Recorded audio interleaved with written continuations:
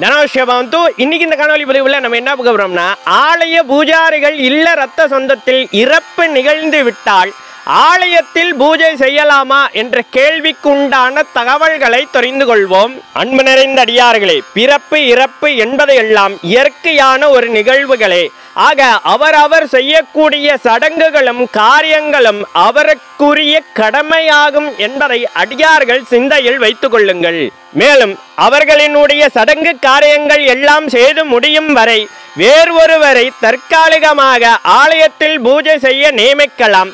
இவ்வாறு செய்வதால் ஆலயத்தில் செய்யக்கூடிய பூஜையானது எந்த ஒரு தடையும் இல்லாமல் தொடர்ந்து நடைபெறும் என்பதையும் அடியார்கள் சிந்தையில் வைத்து கொள்ளுங்கள். அடுத்தபடியா பார்த்தோம்னா சாதாரண ஒரு தனிநபர் எப்படி அவருக்குரிய சடங்குகள் காரியங்கள் கடமைகள் எல்லாம் முடிந்து அவரினுடைய இயல்பான அந்த வாழ்க்கைக்கு திரும்புகிறாரோ அதே போலத்தான் ஆலய பூஜாரிகளும் அவரினுடைய இயல்பான அந்த ஆலயத்தில் செய்யக்கூடிய பூஜையை தொடங்கி கொள்ளலாம் என்பதையும் அடியார்கள் சிந்தையில் வைத்துக் கொள்ளுங்கள். அடுத்தபடியாக பார்த்தோம்னா கூடுதலாக ஒரு சில தகவல்களையும் தெரிந்து கொள்வோம். ஆக சிவபெருமானுக்கு எந்த ஒரு தீட்டும் துளக்கும் கிடையாது என்று சொல்லப்பட்டு வருகின்றது.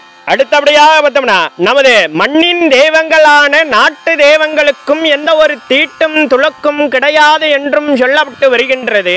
அடுத்தபடியாக பார்த்தோம்னா நமது குளங்களை காக்கக்கூடிய குலதெய்வங்களுக்கும் எந்த ஒரு தீட்டும் துளக்கும் கிடையாது என்றும் சொல்லப்பட்டு வருகின்றது. அடுத்தபடியாக பார்த்தோம்னா தீட்டு என்பது நமது ஆதி தமிழர்களினுடைய தமிழ் பூசை முறையில் கிடையாது என்பதையும் அடியார்கள் சிந்தையில் வைத்துக் கொள்ள வேண்டும். அன்பு நிறைந்த அடியார்களே இன்று ஆலய பூஜாரிகளினுடைய இல்லத்திலோ அல்லது இரத்த சொந்தத்திலோ ஏதேனும் இறப்புகள் நிகழ்ந்தாலோ என்ன செய்ய வேண்டும் என்ற கேள்விக்குண்டான தகவல்களை தெரிந்து கொண்டோம். மேலும் ஒரு இனிய பதிவில் உங்களை வந்து சந்திக்கின்றேன். இதுபோல ஆன்மீக சார்ந்த ஏதேனும் சந்தேகங்கள் இருந்தாலும் கூட தயங்காமல் கமெண்ட் பாக்ஸில் தெரிவிங்க. அடியனுக்கு தெரிந்தால் கண்டிப்பாக உங்ககிட்ட காணொளி மூலமாக பகிர்ந்துக்கிறேன். நம்ம Tamil Vedam ninety two channel இன்னும் சப்ஸ்கிரைப் பண்ணாத அடியார்கள் மறவாமல் சப்ஸ்கிரைப் பண்ணி பக்கத்தில் இருக்கிற பெல் பட்டன் அமைத்துட்டு ஆல் ஆப்ஷன் தட்டினீங்கன்னா நாங்கள் போடுற காணொளி எல்லாமே உங்களுக்கு உடனுக்குடன் நோட்டிஃபிகேஷனில் வந்து சேரும். மேலும் நமது தமிழ் வேதம் நைன்டி டூ சேனலில் நிறைய ஆன்மீக சார்ந்த காணொளி பதிவுகள் தொடர்ந்து பதிவேற்றம் செய்து கொண்டே இருக்கிறோம். அதெல்லாம் இன்னும் பார்க்காத அடியார்கள் ஒருமுறை சென்று போய் பாருங்கள். உங்களுக்கு தேவையான தகவல்கள் அதிலும் இருக்கக்கூடும். அடியார்களின் வசதிக்காக பிளேலிஸ்டும் தயார் செய்து வைத்திருக்கின்றோம். எருவம் முனீஸ்வரம் சகலமும் முனீஸ்வரம் நமசிவாயம்